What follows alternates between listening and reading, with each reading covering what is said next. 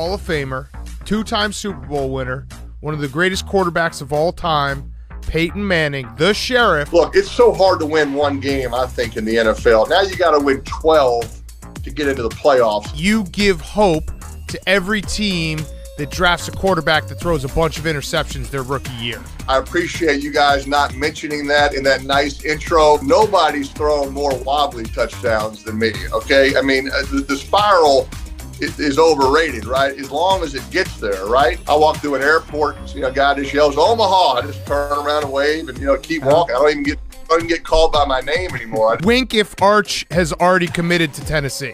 oh, he just he just winked. Ooh. So Arch not- Manning is going to Tennessee. not- well, I mean, it's such a big forehead, so there's so much room for the camera to zoom in on it. Sorry to break it to you, but I think the training staff was fucking with you your entire career. like that's what that sounds like to me, and they did a great job with it. It's gotta be it's gotta be tighter, Peyton.